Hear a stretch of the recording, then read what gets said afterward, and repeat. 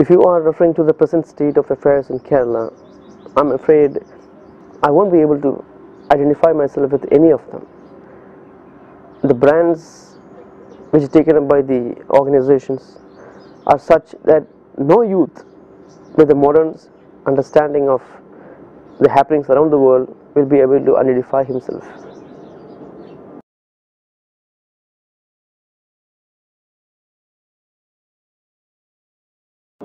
I think they should stop right now because the organizations are fighting like wolves on the open street and the common man is suffering like a sheep.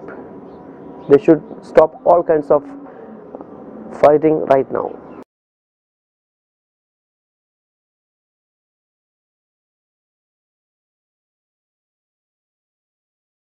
Major part of uh, religious organizations in Kerala Islam today is focused on how to crush the other organization. They are not connected uh, with the larger community and the community's interests are at stake. They are only focused on how to build them their network. Uh, they are well funded and they are well organized yet they are not concerned with the problems of the community at large.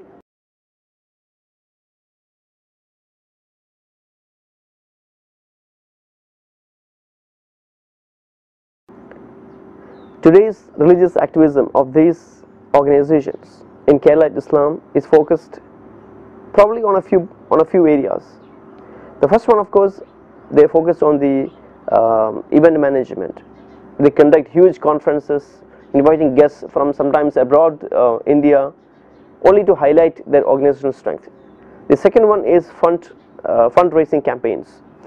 They go to the uh, out to the uh, community uh, they meet business leaders, they meet the political leaders and raise funds so much that millions are sometimes spent on their events and organizational activities. The third one is media activism but they, the focus of the media activism is only on personal slandering or uh, how to criticize the other organizations. They are not picking up the larger issues of the community, uh, making awareness of these uh, social issues. There is so much of social issues including uh, alcoholism which is uh, growing very crucially in the Muslim community in Kerala but none of these organizations are focusing on these social evils or uh, how to eliminate uh, these evils from the society.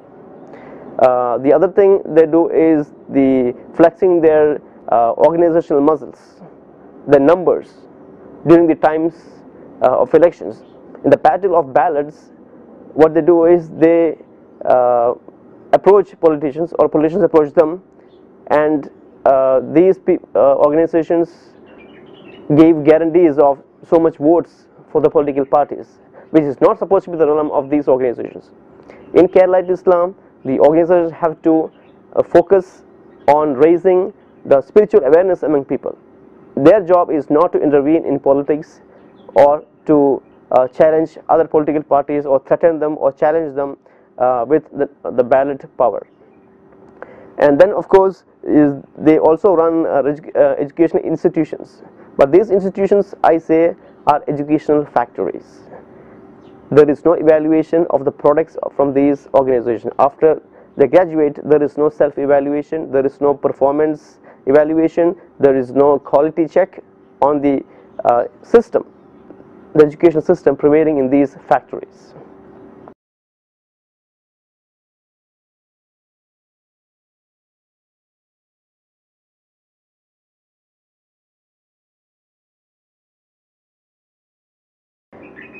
I feel Kerala Islam is living in a very dangerous comfort zone. Despite the centuries old traditions which is very superb, very unique to Kerala Islam. Uh, it has not been able to produce notable figures who are recognized at a global level in the world of Islam. I am referring to those names which we find from the cradles of Muslim civilization like um, Iraq, like Syria, uh, Turkey, uh, the Persian. Kerala has not been able to carve a distinct position for itself in the world of Islamic arts. despite claim to have begun right during the prophetic era. If you say that is the case of past, the present isn't encouraging either because despite a lineup of incredible Islamic learning centers in Kerala Islam, we do not have a global icon or spokesman to showcase before the international community. Yes, this is a voice, the international voice of Kerala Islam. And I personally feel that the religious organizations, the infighting between the organizations has played a major role in not being able to contribute a powerful voice, a powerful figure from the Kerala Islam. However, if my observations of social media for the past 4 to 5 years are correct, then I say the Keralite Muslim youths are heavily looking up to international uh, Muslim scholars and orators like Hamza Yusuf and Tariq Ramadan for the spiritual kick. Because Keralite Islam has not been able to produce a figure so powerful enough to influence the present youth. These uh, religious outfits have not been able to produce a panacea for the paranoia surrounding the community at large. There have been so many issues where uh, youths have looked up to somebody for a proper uh, interpretation of the events happening. But sadly, Kerala Islam has not been able to deliver the result. As an occasional observer of Kerala Islam, I have made some observations which I feel require the intervention of uh, the leadership both at the political and religious front. The first one of course is regarding the scholarship of women, the religious scholarship of the ladies in Kerala Islam. Although both boys and girls are enrolled in Arabic colleges and madrasas in Kerala Islam, which are the learning centers of Islamic learning, there is an inherent hesitation to accept uh, female scholars in Kerala Islam. The society which is patriarchal in nature is not able to uh, accept or allow a female voice to rise in the scholarship of Kerala Islam. Now there are so many issues pertaining to specifically to women. However, everyone have to depend on a few set of male scholars to get a reply for their problems. The next point I want to share with you is regarding the museums. Now Kerala Islam may be a centuries old intellectual heavyweight with tons of cultural and historic data. There is so much of legacy in Kerala Islam no doubt. However, a passionate student of history cannot find a systematic archive of the artifacts or the manuscripts of Kerala Islam. There is absolutely uh, no uh, systematic and organized setup to uh, explore and to understand if you want to browse through the the records the ancient records of Kerala Islam I'm afraid there is been almost zero attempt to archive them and to showcase them for uh, who are uh, interested in studying about the Kerala Islam. And today with the movement of men and women across the globe increasingly we definitely need museums to showcase the ancient and the medieval history of a society for the people who are interested and a related topic to this is the biographies of the past great men and women in Kerala Islam. Now there have been of course so many luminaries in Kerala Islam, champions in both spiritual, in worldly uh, sense, in politics, in uh, social service, there have been great men and women. But it's a sad reality that none of their biographies have been preserved in a language which is understandable for the common man.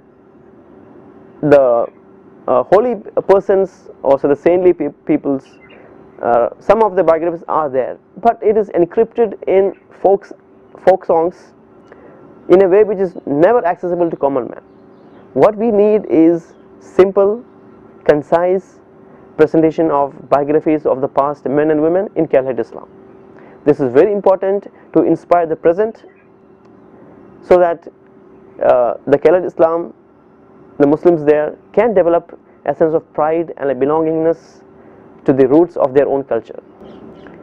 The next is about art forms. Western Islam has produced nasheed singers and bands which are very popular around the world, which has not been the case with Kerala Islam. Now Kerala Islam is much much older than the Western Islam, but unfortunately due to some barriers of culture or say language, Kerala Islam has not been able to showcase an international artist which belongs to, this culture. Now this has to be borne in mind both by the artists and the patrons who pat support them. We definitely need to develop art forms which could be presentable on the international uh, Islamic level. There is also the case of historic tourism. Now in recent times we see that the Muslims in Kerala are increasingly traveling to uh, other countries of the Islamic civilization like uh, say the Middle East not just the Saudi Arabia but many other countries in the Middle East like Syria uh, like Egypt Palestine and they are also going to Turkey uh, Persia to explore the past bygone uh, Islamic civilizations now at the same time these people the leadership the organizations in Kerala Islam are not making a similar effort to bring them to Kerala Islam in order to showcase the Islam's uh, legacy in Kerala, Kerala. Now uh, this is can be done in a very simple way if you find uh, a way to coordinate between the tour operators and these religious organizations which can lead to big uh, a, a, big success story because uh, there's lots of uh, ancient history in Kerala related to Islam which would be you know highly interesting to the Muslims outside Kerala. Kerala Islam also has a remarkable uh, legacy of architecture.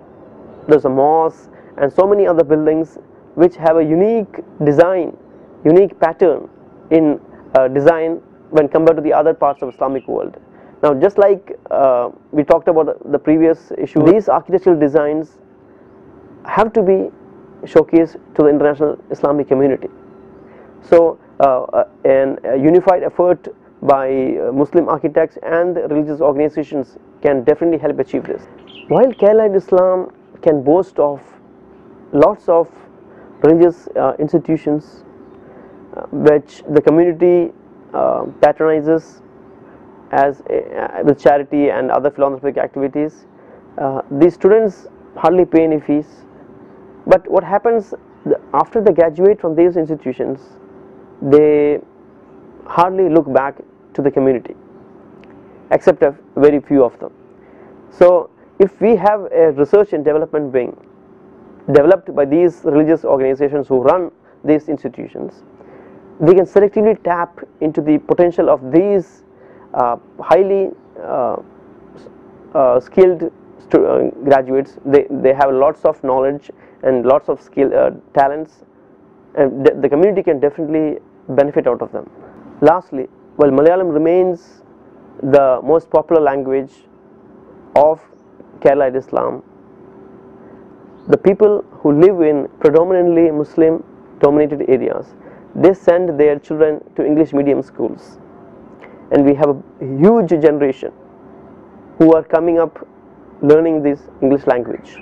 If the religious organizations do not come up, do not uh, accept this reality, if they don't come into terms with this truth, I am afraid the gap between the community and the religious organizations will definitely widen.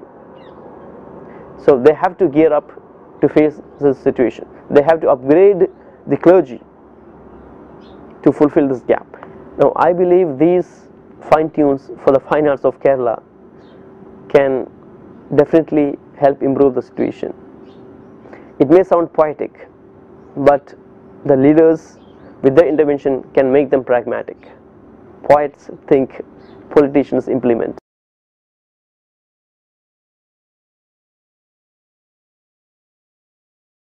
Jaihoon.com was my effort to share my intense experiences and interactions with Kerala Islam. It is a storehouse of my interactions with the leaders and also a few of my writings, my travel experiences, what I faced during the travels in Kerala Islam. Additionally, I had also published uh, a book, The Cool Breeze from Hind, which is a, a mystical travelogue uh, about the influence, the Arabian influence on Kerala Islam. I thank the cafe and its team for giving me this opportunity to share my thoughts. Thank you.